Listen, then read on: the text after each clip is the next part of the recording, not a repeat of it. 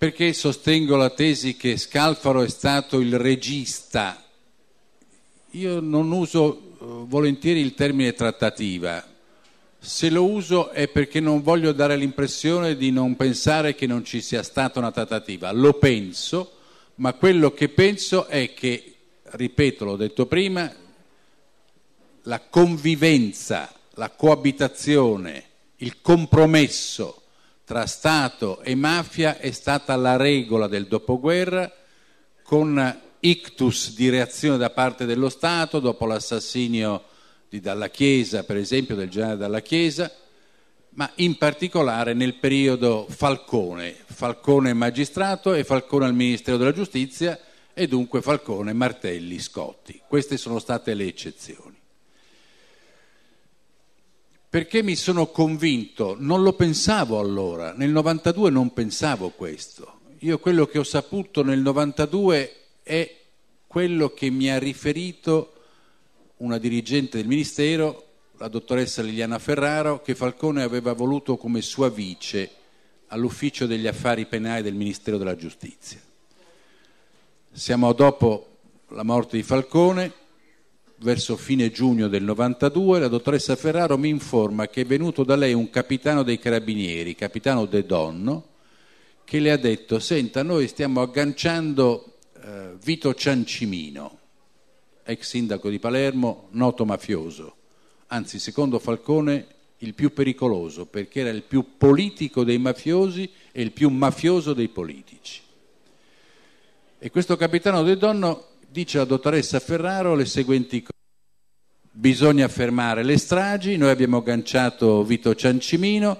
eh, può essere una collaborazione utile, però abbiamo bisogno di una copertura politica, non possiamo, noi intende il capitano Donno, io e il mio superiore, colonnello Mori, abbiamo bisogno di una copertura politica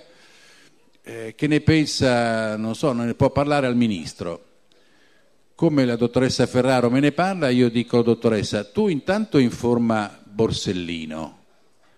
che era il procuratore aggiunto di Palermo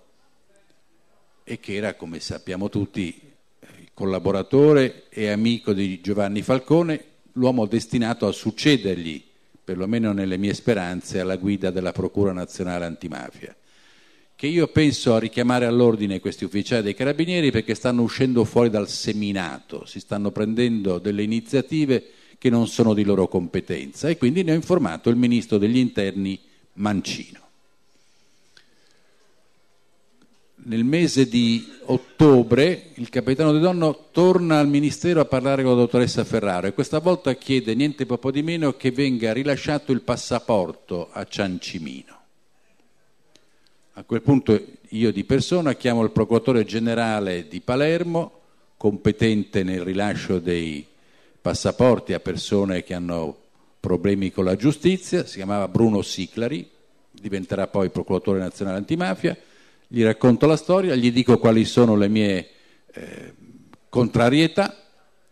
e il procuratore generale di Palermo fa riarrestare Ciancimino che era stato arrestato e poi scarcerato. Questo è quel che io sapevo allora. Quello che sono venuto a sapere eh, più di recente, in questi ultimi tre anni, dal 2009 ad oggi, in un crescendo di rivelazioni, è che quegli ufficiali dei, cameri, dei, dei carabinieri agivano sotto il comando del loro comandante generale, generale Subranni, quindi non era un'iniziativa solo loro. A sua volta non credo proprio che Subranni agisse per conto proprio, mi sembra assolutamente improbabile.